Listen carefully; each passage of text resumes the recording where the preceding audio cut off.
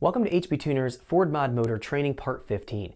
This video we're going to be taking a look at working with our speed density operation and calibration techniques. Now the speed density is going to be used as a redundancy in the airflow model calculations. We're primarily a mass airflow driven model, but it does have speed density influences. So if we've tuned our mass airflow curve out, we've turned all the things that we've disabled to isolate our MAF curve, we turn them all back on, and we're finding that we have load represented incorrectly and we have our fuel being off, we need to deal with it in the speed density. We need to go in and correct some things. So I'm going to show you what you need to change and how to go and change them properly based on log data from our VCM scanner in a histogram format. We have a lot to cover, so let's jump into our video so we can check this out. Okay, so let's get started. We're going to be taking a look at working with our speed density style tuning within our Ford PCMs. Now, I do want to mention before we begin this video that the Ford PCMs are 80 to 90% mass airflow based, so a primarily mass airflow based we're going to find that they are speed density referenced just like a GM PCM is going to be. In this case, we don't actually have a map sensor present on a three valve GT application or a GT500. Ford decided to go and infer or calculate what the map pressure is going to be based on some theoretical values and math modeling going on in the background. So what we're going to be covering in this video will be pertinent to understanding how to tune speed density tuning, but in a lot of cases, we don't have to do a lot of adjustments into the speed density calculations as long as we performed a solid mass airflow calibration process and dialed in our load with failed MAF tables if we're on a three valve application. But I still want to cover speed density tuning so you understand what is going on and how it works because it is integrated within the Ford PCMs and it can start to skew our load registration and our airflow modeling and ultimately our fuel delivery if we don't have it right, if something's way, way off. This is usually only needed to be touched in a force induction application. Naturally aspirated, we rarely, if ever, have to touch this. Let's go in and take a look at a calibration file so we can start to discuss what is going on with our speed density operation. So what I'm going to do here is go to File, Open, and then I'm going to move down in our calibration file examples to our 2005 Mustang GT 4.6 liter and Slick Open.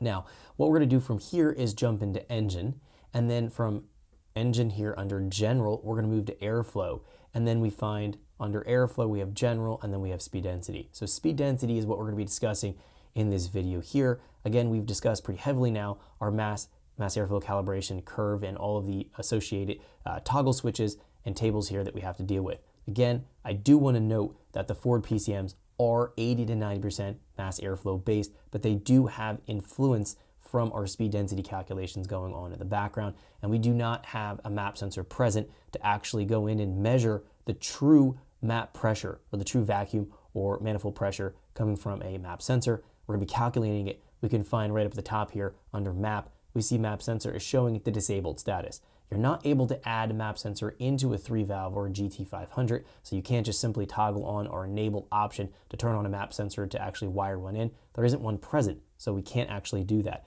Again, Ford chose to save 10 or $15 per car by not putting a map sensor on and then calculating what that map pressure would be based on a whole bunch of background math variables. So in order to deal with the speed density, we have to tune our mass airflow curve with our adaption off, with our cylinder filter off, with our anticipation off. Once we do that, once we deal with our MAF curve, then we tune our load with failed MAF tables. Once those are dialed in, we turn our adaption, our filter, and our anticipation off. And once we start to enable these, we start to introduce our speed density calculations that are going on in the background. Now, if you're GT500, you don't have load with failed MAF tables, so you'll find that you're just dealing with your mass airflow curve, and then you have some influence from your speed density operation. But we need to make sure that all of these are on in order to use speed density in our, in our calculations and start to review this. So let's actually jump here into our speed density tab and we're going to be specifically dealing with our general area here.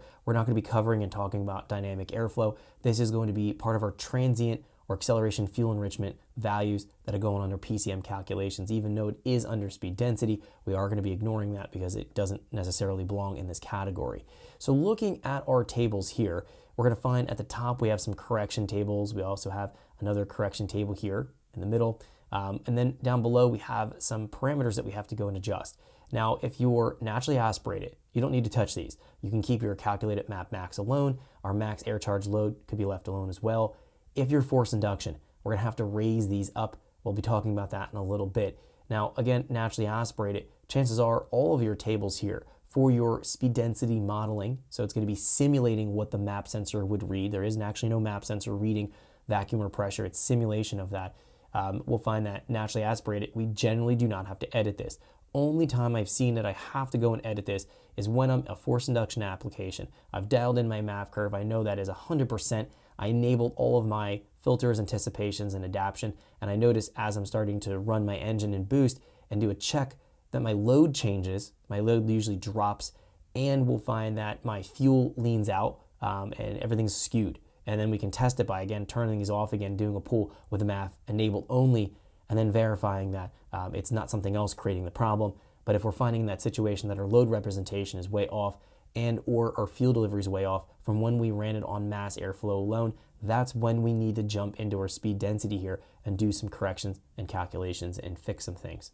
So let's go through our tables here. We're going to talk about the various tables we have to deal with and then talk about what we need to do to actually tune this out. We're going to be working with and integrating into our Excel spreadsheet in our speed density. I have speed, speed density tuning calculator here. It's to help us visualize what's going on. Thanks for checking out our teaser clip. If you want to see the rest of this video and more than 500 hours of current EFI training we have to offer, make sure you click right here. If you want to go and check out more teaser clips from this training course, click here. And you don't want to miss any of the videos we're to be releasing on this channel, so make sure you subscribe and click here.